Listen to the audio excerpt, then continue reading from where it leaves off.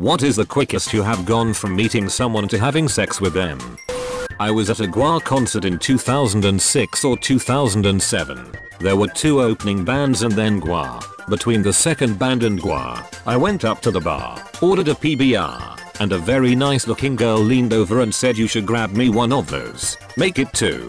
I said. She got her beer and I was just about to turn and walk back to the floor, not giving it another thought, but she grabbed my shirt sleeve and said if I asked you to fuck me, would you call me a whore? Depends. Do you want me to call you a whore? I replied. I kinda do, she said. She asked what I was doing after the show and I was like I was going home but I'm Ian. Anyway, we hung out for the show, she rode back with me and a buddy I was with. I think she left some of her friends there. My friend dropped her and I off. She came back to my house and we banged in my room like 7 times or something and fell asleep. The next day I woke up but I didn't have a car at that point in my life. I was 21 and still living with my mom. It was really awkward because I think she told me her name that night but I was drunk as shit and didn't remember it. I doubt she remembered mine. We were both all kinds of fucked up. We both emerged from my room and my mom was taken aback, but made small talk like well, I hope you had fun last night. Then she took us both out for breakfast and they wound up talking about their favorite episodes of Law and Order for like half an hour. We dropped her off at her house which was a fucking hour and a half away. I shit you not. And I never saw or heard from her again. And that, my friends, was the moment I realized it was time to move the fuck out of my mom's house. Your mom was the real MVP on that one taking you out to breakfast and driving 3 hours to drop her off. Total fucking hero. Asked me for months if I'd recently seen or talked to that sweet girl she dropped off. Swore we'd make a cute couple kept reminding me it's not nice to just sleep with girls and never call them again. That's no way to treat a lady. I raised you better than that. I didn't have the heart to tell her I was pretty sure the ghosting was mutual. Me to avoid embarrassment. Her to forget about waking up next to a carless loser still living at home with mom. My wife. Met her through mutual friends and less than an hour later we were drunk and banging in the apartment complex laundry room. Then on a couch. Then a bed. Lots of sex. Good times. And this guys, is how he met your mother. A few hours in a club she asked me for a lighter. We smoked a cigarette together then she pulled me away from my friends we hooked up and went to her place when the club closed. Fast forward two days, she was there again. I went there to ask if she wants a cigarette and that's when she pulled me away again and it all happened again 10 slash 10 would do again. Which club? I would like to camp there with a cigarette. 3 hours. We met on Plenty of Fish. It was the first date I'd been on in ages. We had a couple of drinks in NYC. Was a good night. We were trashed by the second bar one thing led to another, and we had sex inside of one of those porn booths in some porn shop near Port Authority. It was great until she started crying afterwards because she didn't want me to think she was a slut. Did you guys continue seeing each other? Funny part, we did hang out a few more times. Actually, on and off for 6 months. We hooked up a bunch more times and whatnot, and then we stopped. I still have her on Facebook and she has a man now, but there are times she slips and randomly decides to still send me nudes. 18 years. Met my wife when we were 5. Got together in our 20s. Played that long game. I was at Estelle's in Chicago in uh, 2003, and this slightly older girl was in the line for the bathroom and there were zero dudes in line. And at that time the dude's bathroom was one urinal and one toilet with no stall, which didn't really prevent the prodigious use of cocaine in there. Anyway, knowing the situation, I told her to come in with me and while I was pissing, I'd block the door with my foot. She was very impressed. We left the bar from there. She slept over. Hottest one night stand in my whole life. In the morning, I said to her, so, can I have your number? She goes, let's not, and kisses me hard as fuck and turns on her heel, and flips the back of her skirt up at me on her way out my door. Never got her name. I told her to come in with me and while I was pissing, I'd block the door with my foot. She was very impressed. What? With the pissing? With the fiction writing skills. Had a girl I never met drag me off the dance floor into the bathroom of a club in 92. Our entire relationship lasted about 5 minutes. Never even got her name. A few years ago I used to be a regular on a relationship forum.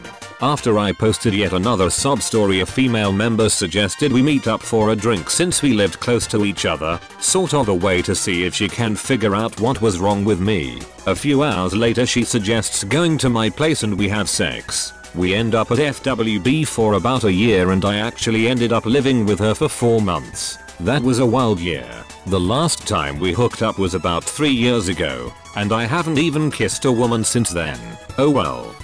Like a couple of days. Probably. Met her on a cruise, and we kept running into each other on the ship until things eventually led to the bedroom. Cruise flings start and end quickly. The herpes lasts forever. Within 5 minutes of meeting I was giving him a BJ. Want to be featured in my videos? Become a patron at the Patreon link in the description. Don't forget to subscribe for new videos every day. How long does it take to drive home from the club 20 minutes? She was already trying to fuck me in the backseat of her friend's car. Her friend was like, EW. Just wait till you get home, you slut. Relax. I'm gonna fuck him there too. Her friend wouldn't let her fuck me in the backseat, but she didn't notice the blowjob until she pulled up at the house. Okay, we're. What the fuck? Can't you even wait 5 minutes to get a cock in your mouth? I met my wife on OkCupid several years ago. We chatted for a few hours. We almost immediately became infatuated with each other because we were both massive nerds. And then we decided to meet the following day. Well as it turned out we were both outrageously horny, and once it was apparent that neither of us gave a single solitary damn about getting coffee, we changed plans, went to my apartment, smoked a couple bowls and fucked relentlessly for hours. She's kinky, I'm kinky, and we happen to be lucky enough to experience love at first fuck, so to speak. The dating and traditional courtship happened later, and it's hilarious in retrospect because when people ask us how we met we usually give each that knowing look, and keep the response as glib as possible. We clicked is more than enough, because it's technically true in the best possible way. About 45 minutes. Hostel in Greece. Ran into a guy I knew who was heading down to the beach with three girls he had met at the bar to go skinny dipping. I offered to show them the private cove I had just discovered. The Australian girl and I had a bit of immediate attraction, so after a little while of frolicking on the beach, she and I adjourned to a towel. My friend ended up taking the other two back to his room, so his story is probably better than mine. Within half an hour, college party and was hitting it off with a cute guy. We snuck up to the bathroom and had a quickie, then went our separate ways. Thing is, that same guy could be on here and read this comment and was like what a lucky guy. I remember doing that with no idea that it's actually him you're talking about. Well I was a hooker at one point, Suadu, I'd say a solid 2 minute drive. I was single for a month before I met this guy on Tinder. We matched. I thought he was cute and got lucky that he messaged me. We talked for a bit about different bands we like and concerts we've been to slash going to and I told him I was looking for a new concert buddy. He then asked me out on a date, and I agreed. Took me to a nice Cuban restaurant in Philadelphia, and then went back to his place because 1. My car was there and 2. I really wanted to meet his cat. I love cats. We started kissing.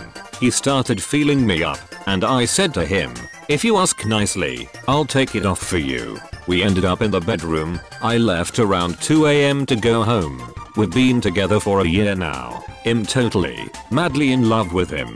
TL. DR. Hooked up with a guy from Tinder after the first date. We've been together for a year now. Walking down to a 7-11 in Philly, college area, Halloween. Can't even remember what she was dressed as or her name. Girl walked by me, put her hand on my crotch said I had a nice dick. My dorm room was about a 10 minute walk so 11 minutes to completion. Often no more than a minute. I've never been the pickup type and was usually too shy to try in public. And back in the days of Craigslist casual encounters, the ratio of males to females looking for hookups there was about 400 to 1. So I came up with a system where I would post 4M4W ads per day, the max, looking for various scenarios so it wasn't obvious they were all from literally the same person, but all with my details. Then, on a Friday night, I'd click renew on all my ads so that the front page would be 90% me, and I'd get responses from women just looking to meet for sex. One of those hookups end up repeating enough times that we got to know each other and stopped doing the casual encounters thing. We're still together 4 years later. Damn you're a fucking genius. Met this girl in Germany and within 20 minutes was sniffing her butthole. Isn't that just a normal greeting? Thank you for watching. Smash that like button like it's a Thick booty. and don't forget to subscribe to OKPJ Dark if you like nice things, like new videos every day. See you tomorrow.